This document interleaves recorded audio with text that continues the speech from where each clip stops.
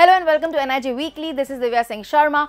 I am Richa Divedi. This is Shivani Mohan. We're here to bring you what's trending this week, the highlights from the week that was on 21st November 2022. From India and Prime Minister Narendra Modi shining at G20 Indonesia to India taking over the G20 presidency at Bali, eventful meeting with PM Rishi Sunak, good news in defense, space, beauty, culture, and more to look forward to on this week's newscast.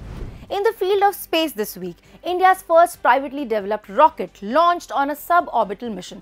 The maiden mission of Hyderabad-based space startup Skyroot Aerospace named Prarambh the beginning aptly and first rocket named aptly to Vikram S after Indian space legend Vikram Sarabhai, launched successfully from ISRO's launchpad in Sriharikota. In the defense sector this week, in order to check Chinese aggression, India and US are holding the 18th edition of the Joint Military Training Exercise Yudh Abhyas in Auli, Uttarakhand. This helps both countries to encounter China by endorsing each other. And in another major technology push for defense, Indian Army has envisioned construction of permanent defenses along the line of actual control in eastern Ladakh using cutting-edge 3D printing technology, a move that will save time and improve its defense preparedness. The Indian Army has taken a number of steps to boost its capability, development and achieve modernization. Now let's get Richa on board for some more news. Over to you Richa. Thanks Divya.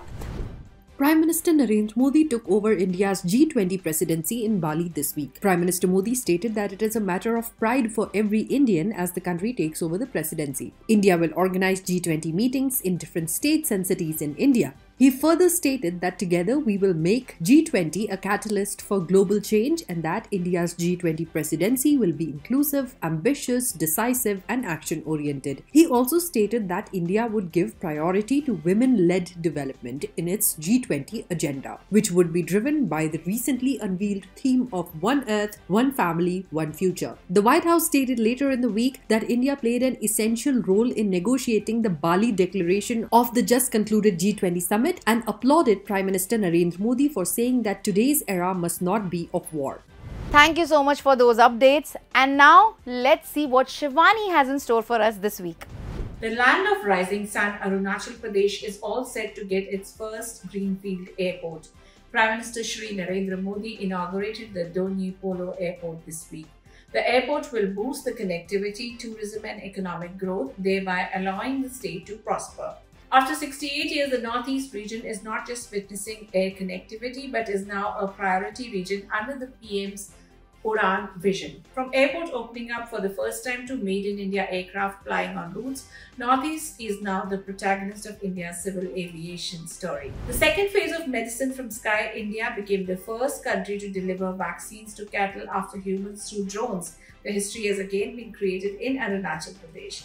This is proof of the ever expanding utility of drones. Inaccessible roads will no longer be hindrance in providing health facilities. The Ministry of Textiles, in partnership with Northern India Textile Research Association and Indian Technical Textile Association, organized a full day event, National Conclave on Technical Textiles, ProTech, in the national capital this week.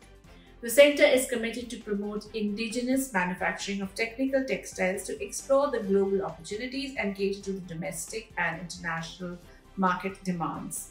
The technical textile is a sunrise industry with a robust growth rate of 10% annually. And that's all from my end.